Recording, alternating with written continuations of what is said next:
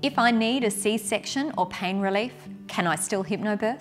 Some people mistakenly think that hypnobirthing is all about natural birth only, but not our programs.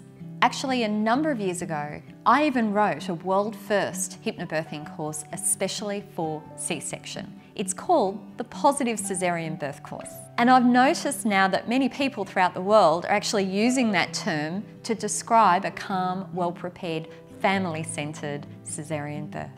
Now even our HypnoBubs hypnobirthing online course covers special circumstances.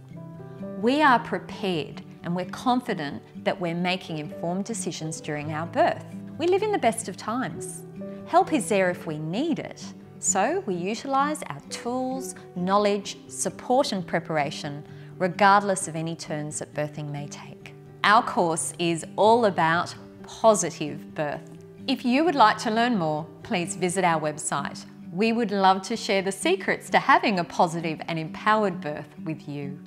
And that's another pregnant pause by Hypnobubs.